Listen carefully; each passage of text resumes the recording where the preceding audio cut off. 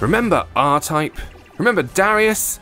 Remember all those games from the 80s where you used to fly around, side-scrolling or vertically scrolling games shooting the crap out of lots of anonymous aliens? Well, so does Super Hydorah, and it wants you to have the same amount of fun that you had back in the day. This is a brand new game that's appeared on the App Store. It's already been released on things like, I think PC's got it, I believe PS4 or Xbox has it as well, uh, and it's just appeared on touchscreen. And the question is, as it always is, does it work on a touchscreen? And in the case of most shmups, the answer is a big old yes, because touchscreen is perfect for these kind of games. Slide your thumb around, it exactly mirrors the movement of your thumb, it automatically fires. I can stop it firing, the ship, if I put my other thumb on the screen, but frankly, why would I want to ever stop it firing? Always, always be firing. Uh, I think this has been done superbly well. Look at the animations. It's clearly paying homage to all those classic shooters uh, of the of late 80s and early 90s, but doing so in a way that sort of takes advantage of a few of the benefits of modern game design. I think the animation particularly is extremely nice.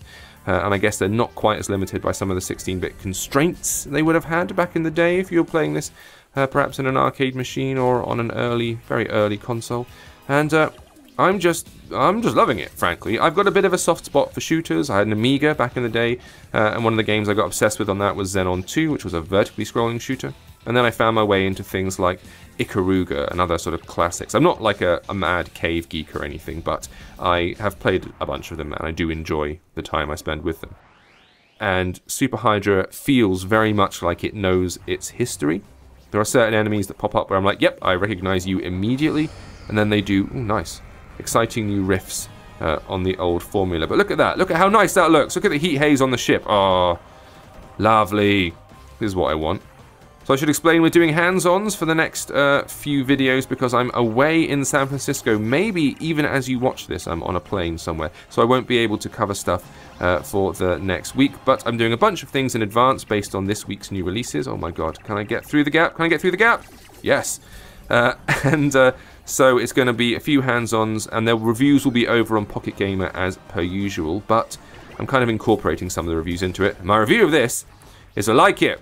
It's really good. It's dead nice, and I want to play more of it. I'm probably playing more of it uh, on a plane in San Francisco right now, because look, look at all this all this fuzzy laser business. I just think the attention to detail is great. The flow of the uh, action is lovely. The only thing that catches me out from time to time is the way the screen moves, because it doesn't lock into one single position. As you can see, it moves up and down. In other levels, you can control the movement of the camera, and sometimes that will mean I'll overcompensate slightly and I'll move too far up, because as the camera tracks up, it moves the position of your ship a little bit.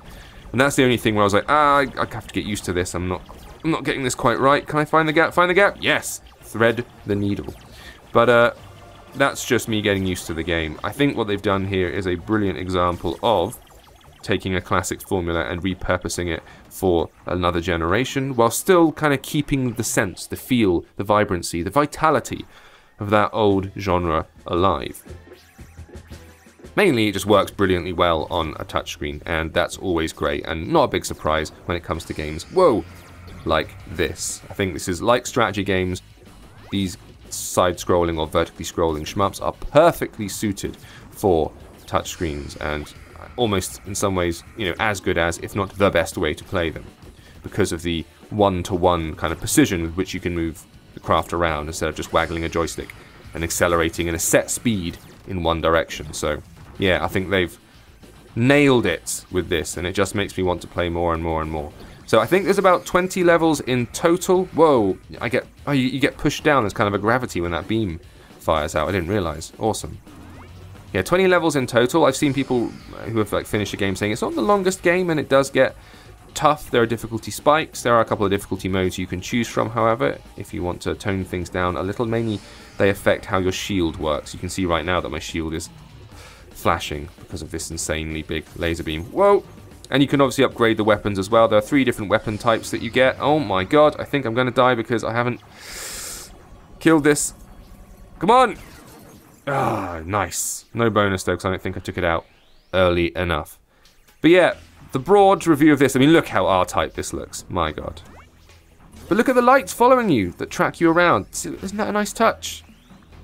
Bit of the old, bit of the new. That's what I like to see. So, You'll be able to get this right now on the App Store. It will cost you cash money. I'm not exactly sure how much yet because it's not technically been released as I record this, but Super Hydorah is the name. Go and find it on your app stores. Thank you for watching. See you next time.